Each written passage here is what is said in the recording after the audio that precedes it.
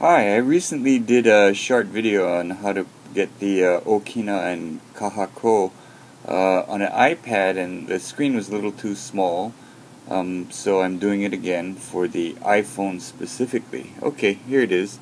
Uh, first you want to go to the app called Settings and that's the one with the gears on it. You have to scroll down a bit. We want to get to General right here. And in General scroll down almost to the end.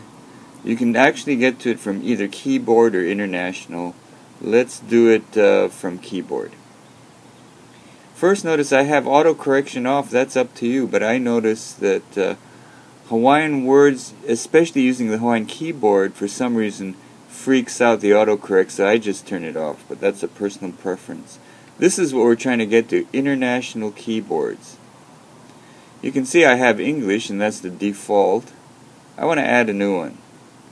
Now the Hawaiian keyboard is going to be here and it's in alphabetical order actually after English UK, Arabic, Chinese, etc. It's going to be after Greek. After Greek, Hawaiian. And uh, just to show you how to switch through the keyboards, I'm going to pick another international keyboard, emoji. Now what does this do? Let's uh, open a document and uh, see. Now the uh, keyboard looks the same. Look though, there's a globe right here near the space key. And there's also an okina and a kahako.